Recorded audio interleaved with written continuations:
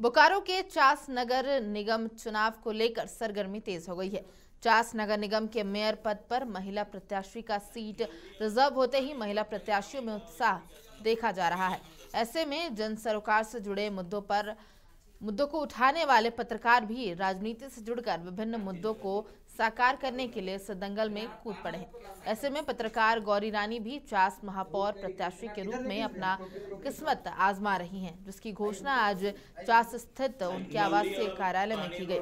बता दें कि ये चास के निवर्तमान मेयर भोलू पासवान की छोटी बहन भी है। मैं जब पत्रकारिता कर रही थी तो जन मुद्दे उठा रही थी। मुझे समस्या पता है और इसका समाधान भी पता है कि कहाँ होना है। बस इसी आ, सोच के साथ मैं चुनावी मैदान में उतरी हूँ और निश्चित तौर पर अगर मुझे चास की जनता का प्यार समर्थन मिलता है भैया के काम से वो खुश होंगी।